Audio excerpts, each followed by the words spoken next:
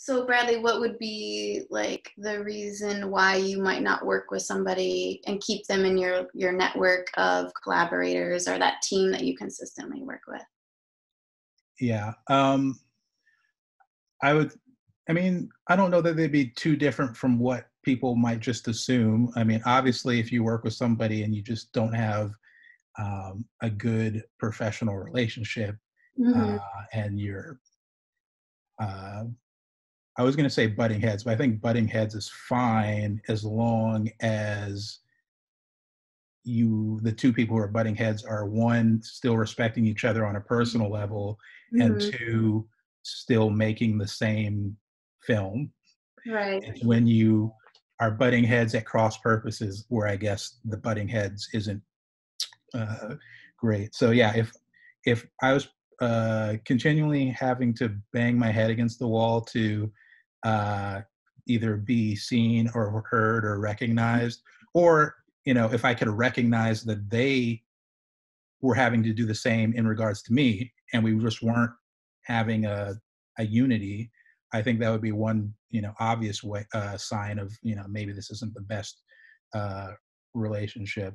Um, and secondary to that, um, I suppose on certain projects, be it because of uh, budgetary reasons or because of uh, you know anything like creative reading reasons, logistical reasons, time and space. You know, they live in a different portion of the world or what have you, um, and it's just going to be too difficult to to get back uh, together. Um, they're not uh, available because they're working on something else. Mm-hmm. I mean, mm-hmm. all of those things would come into play. But if they're, I would say, if there's somebody who I really feel fits this mold, mm-hmm. I'm going to try my best to uh, make the uh, the project with them because uh, I think it'll be better uh, mm-hmm. with them. Mm-hmm. Um, but how about yourself? What are what are reasons why you uh, may uh, decide not to continue on with somebody?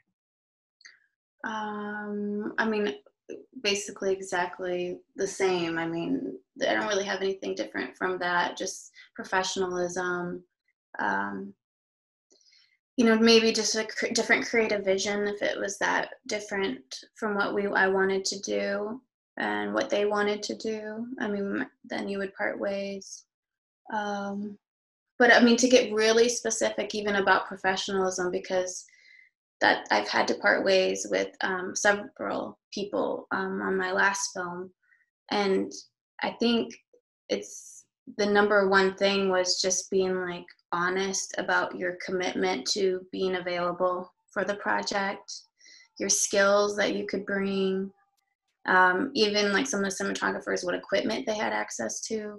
Mm. Because just in the indie world it's like a lot of people own their own equipment. You're not necessarily always renting and you know yeah and just professionalism i think that's the most that's like the baseline right yeah for sure and then from there if it's like you know there's some conflict or uh, on set or they're just not cooperative or stuff like that but in general like if somebody's professional and they have uh, an open mind and they're not attached to their ideas, then I enjoy working with them.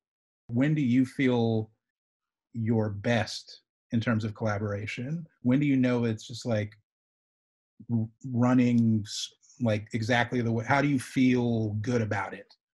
Um, I think it, it's best when it surprises me. Mm-hmm.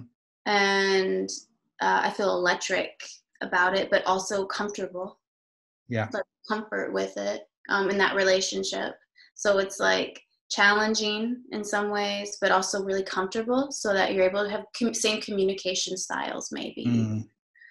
so i think that's when i feel my best is like when i'm kind of bonded with somebody on a communication there's trust there. Like they trust me and i trust them that we have each other's back that they're in a safe place and that um, they're not just going to be disregarded and i'm not going to be you know this egomaniac and it's only my way. You know we have a trust there um, and yeah like an unspoken way of interacting almost. Um, but also i really love when it's when the ideas are so electric and it's just like you know you get in this rhythm and you you just know um, about midway through production you're just like yep got it. All right let's do this. Oh yeah you're right let's do that. Oh you know it's right. wonderful. So what about for you? No i like what you said about surprise um, mm-hmm. And i think surprise uh, is welcome when you have like they're not when it when when surprise is working it's not really a surprise as much as it is a um it's kind of a i don't know if revelation might be too big of a word for it but like you, it's not you're getting surprised with something you always knew was there because you've done the work to build the trust and to build the relationship and you've uh, worked together in such a way where um, it's a surprise in that like in the moment uh, they've brought something to the table that you might not have been thinking about but you've done mm-hmm. all this uh, prepping work with them and built this whole uh, dynamic with them in such a way where you knew that they were always capable of this moment existing eventually. Mm-hmm. And so by the time that it's actually happening, it's kind of like, oh, yeah, that's exactly why you're here. Right. Um, that's exactly why we're here together.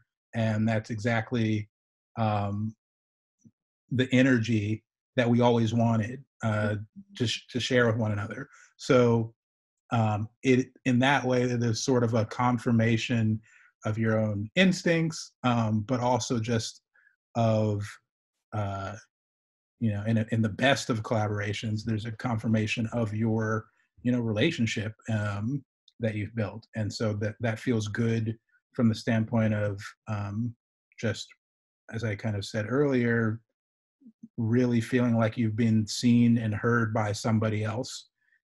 It's hard yeah. to let people go because yeah. you've built up a hopefully a trust and a, a, personal relationship with them and it feels like you're um it feels like such a definitive end yeah. to something yeah um are there you know now that we're kind of in this sad uh, section are there like tips or uh i mean like even like as, as an actor you know this like even in the casting, uh, you know, the traditional casting, uh, there's some of this in that if you've worked not necessarily because they've done something unprofessional, but you mm-hmm. decided another actor is going to fit this role better, and maybe you've brought back somebody for for callbacks one or two times, mm-hmm. and you're mm-hmm. having to say to them, "Hey, you made it to the top three, but you're not the person. Sorry." Mm-hmm. it's that same sort of energy i think mm-hmm. uh, when you're letting go of a collaborator or or what have you mm-hmm. um, maybe minus the unprofessionalism mm-hmm. um, but like do you have tips and tricks for having those sorts of hard conversations with collaborators even if it doesn't mean you're letting them go you're just wanting to go to them and say something isn't working mm so not letting them go but it's just something isn't working on set. Right you're going to have to have some hard conversation with your collaborator mm-hmm. um, that you know you'd rather not but you know you have to. Yeah i think just i mean honesty is is kindness from my point of view so just being as direct and honest is what i would want. And so i think you're right sometimes if you can catch it beforehand or if you know definitely not in public if mm. something's not working, you need to step aside and go outside or go away from set to have a conversation about it. Um, and sometimes you can give people, you know, a chance or two, and you can mm. let them know, like, hey, this isn't working for this reason. It's, you know, let's try this again and let's go back in there. And I mean, if you're keeping them, you really want to encourage them to feel good yeah. So you want to correct the situation, but also not change the vibe or the energy. Mm-hmm. So by, you know, enthusiastic enthusiastically like encouraging like okay i know you can do better this isn't working or this style isn't you know whatever the, i don't know what the conflict would be but whatever it is You can Mhm. find a way of being direct and honest and kind and encouraging, I believe. Unless it's about professionalism, then get your stuff, get all your footage, get all your equipment, get everything before you cut ties. Because Mhm. usually, when it has to do with professionalism, they're not going to handle the end of that relationship professionally. Right. So, before you make that contact, get everything you need to get and then say goodbye. Do you think you're good at collaborating on a more, you know, basic level? And and how do you how do you become better at collaborating? Hmm, it's a good question. I don't know if I'm good at collaborating. Um, I think I try to give voice to others. It's hard Mhm. to judge myself in that way, but at least in the in the respect that I try to be a good collaborator. Maybe that's the first step, you know, is that you actually care about being a collaborator versus being like a dictator on set, you know. Right. So, um, so I, I care about it a lot. It's a very, I mean, there is so many aspects of my work that I'm so thankful for the collaborators that I worked with. It would be such a missed opportunity not to develop that skill Yeah. because, um, so I think I try to find ways to, to develop it. Honestly, through personal work really helps, which is strange. So like I am in therapy and learning in my personal lives how to communicate with people, how to have boundaries for myself, how to respect boundaries, how to be assertive.